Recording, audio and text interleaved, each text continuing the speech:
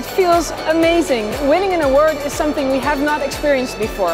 Uh, looking into the, you know, the technique and the scalability of AR in instructions, and we see that there's a lot more research needed with the university, with students and with uh, our customers. So we're going to spend the money in our instruction design lab. Yeah. Swipe Guides really developed technology to solve problems, so it really fulfills a need. Uh, we want to show uh, uh, the name of our company to our potential clients, which is tech companies, uh, both in hardware and software.